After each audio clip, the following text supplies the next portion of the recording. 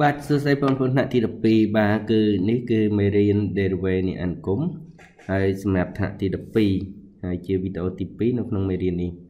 បាទអញ្ចឹងយើងឈានទៅដល់ចំណុចថ្មីមួយទៀតបាទគឺ derivative នៃអនុគមត្រីកោណមេត្របាទអញ្ចឹងអនុគមវាមានច្រើនប្រភេទហើយចំណុចនេះលោកគ្រូលើកយក derivative នៃអនុគមត្រីកោណមេត្រអញ្ចឹងយើងមានរូបមន្តមួយចំនួនដែលបងប្អូនត្រូវចាំណា បាទទី1គឺបាទ derivative នៃអង្គមស៊ីននេះហើយនិងកូស៊ីននេះអញ្ចឹងនៅពេលដែលបងប្អូនមាន y ស្មើស៊ីន x បាទ derivative មកគឺ y ព្រីមស្មើ cos x ណាដល់ពេល y ស្មើ cos x ពេលបងប្អូន derivative មកគឺស្មើដកស៊ីនស៊ីន x វិញបាទដូចគ្នាចំពោះបាទនេះគឺអនុគមបណ្ដាក់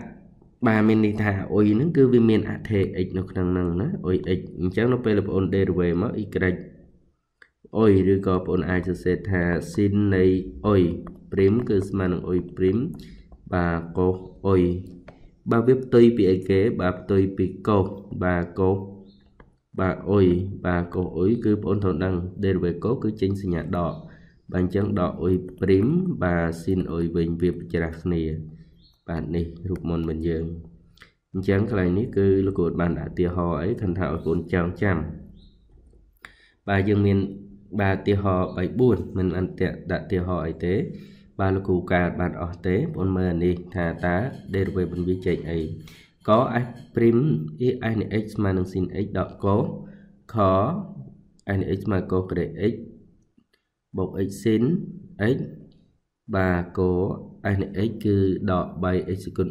4 sin 2 x គីបដក1បាទ អញ្ចឹងលោកគ្រូកែខ្លះក្នុងចំណោមទាំងអស់ហ្នឹងគឺទី1 s នៃ x ស្មើនឹង sin x ដក cos x អញ្ចឹងបង d d ផលបូកគឺស្មើផលបូក derivative ណាបាទអញ្ចឹង derivative sin បាន cos derivative cos បានដក sin ដល់ពេលដកប៉ះដកចេញបូកអញ្ចឹងចម្លើយរបស់យើងគឺ cos x បាទបូក sin នេះ x បាន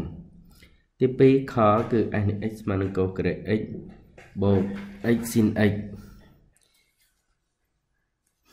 បាទអញ្ចឹងកន្លែងនេះគឺយើង derivative cos x បាទអញ្ចឹងយើងបានដូច derivative អីគេបាទ cos x នេះលើកជាក្រេអញ្ចឹងបង derivative មកបាទនេះមិន21ទេ derivative វាគឺយើងបានអីគេ2ធ្លាក់ចុះអុយយើងគឺ cos ណា cos x ព្រីមបាទ cos x ព្រោះយើងអាចប្រើរូបមន្តនេះគឺអុយសេគុណ n នៅពេលដែល ព្រីមមកគឺ n អុយសេគុណព្រីមអុយសេគុណ n ដក1អុយព្រីមមិនអុយសេគុណព្រីមទេបានបានចឹងកន្លែងនេះយើងដេមកបានអីគេបានដកស៊ីនណាដកស៊ីនអីបាទដល់ពេលនេះ dx នៅដដែល បាទ d ផលគុណបាទលក្ខណៈគឺ d ផលគុណពុនមានអុយវេគឺបានអីគេអុយព្រីមវេបូកជាមួយវេព្រីមអុយបាទអញ្ចឹងកន្លែងនេះ x ព្រីមស៊ីន sin ព្រីម x បាទអញ្ចឹង x ព្រីម1នៅសល់ sin នេះ sin cos បានបាទអញ្ចឹង s ព្រីមនៃ x បញ្យើងកន្លែងនេះលោកគ្រូបញ្ចូលរូបមន្តបាទអានេះគឺគេ c2 បាទ sin x បាទ cos x គឺស្មើនឹង sin 2x វិញបាទអញ្ចឹងសល់ប៉ុណ្ណឹងក កគឺយើង derivative sin អុយបាទអញ្ចឹងយើងបានឲ្យគេណាអានេះបងអូនដេមកធ្លាក់4ចុះមកក្រោមអញ្ចឹងគឺ12ដល់ 12x គីបទៅពេលនេះអុយព្រីមព្រោះអុយយើងអានេះអញ្ចឹងដេស៊ីនអុយបានអុយព្រីមកុសអុយបាទអញ្ចឹងអានេះព្រីមមកអានេះ0នៅសល់ 6x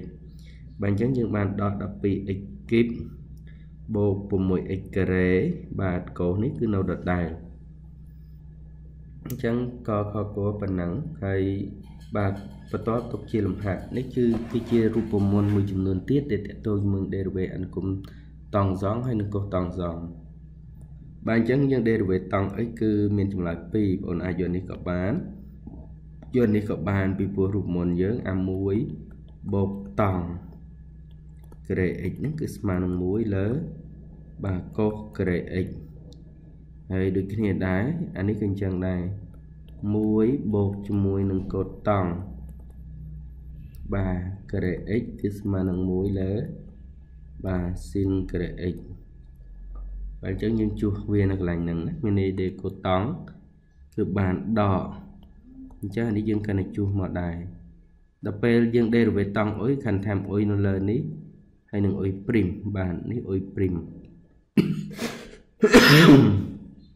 បាទ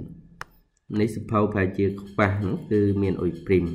ដូចគ្នាដែរអានេះក៏អញ្ចឹងដែរស៊ីនខណៈមួយ x បាទទៅអុយអុយទៅ x វាខុសគ្នាបន្តិចបន្តិចហ្នឹងឯងបាទអញ្ចឹងគ្រូមានឧទាហរណ៍ខ្លះបាទគឺមានលំហាត់3កតង់ 3x បូក1ខ s នៃ x ស្មើនឹងកូតង់ឬ x ហើយគួរ s នៃ x ស្មើកូតង់ 3x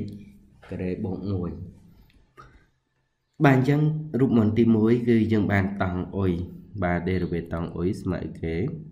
derivative តង់អុយគឺយើងបានអុយព្រីមលើបាទកុសការ៉េអុយបាទបងប្អូនប្រើរូបមន្តក៏បានឬក៏1បូកជាមួយនឹងតង់ការ៉េអុយបាទកតាបាទកតាអីគេកតាអុយព្រីមនេះ បើអញ្ចឹងយើងប្រើអុយព្រីមលើកូសការ៉េអុយអញ្ចឹងយើងបានកូស 3x បូក1លើកូសការ៉េនៃ 3x បាទអញ្ចឹងទូទាត់មកគឺយើងសល់ប៉ុណ្ណេះទី2ក៏តង់អញ្ចឹងក៏តង់អុយដែរបាទអញ្ចឹងរូបមន្តយើងគឺចេញដកបាទពោល derivative កូតង់បាទកូតង់អុយគឺស្មើនឹងដកអុយព្រីមលើ ស៊ីននេះការ៉េអុយបាទអញ្ចឹងបងជួសតាមរូបមន្តមកបាទចម្លើយវាឃើញប៉ុណ្ណេះដូចដែលដូចគ្នាដដែលកន្លែងនេះគឺ derivative កូតង់អុយបាទដកអុយព្រីមលើស៊ីនការ៉េអុយបាទអញ្ចឹងដូចគ្នាបាទហើយមុនបញ្ចប់ខ្លឹមសារមេរៀនបាទត្រង់ចំណុចនេះលោកគ្រូមានលំហាត់បាទ9បងប្អូនអាចដោះស្រាយហើយបើបងប្អូនចេះ បាទលំហាត់អស់ហ្នឹងគឺបងប្អូនអាចបាទកណនីទៅមុខបានទៀតណាបាទអញ្ចឹងកុំឲ្យខាតពេលបងអាច screenshot នៅពេលបងមើលវីដេអូអាច screenshot លំហាត់ហ្នឹងបាទយកទៅដោះស្រាយតែម្ដងបាទអរគុណចំពោះការទស្សនាវីដេអូនេះ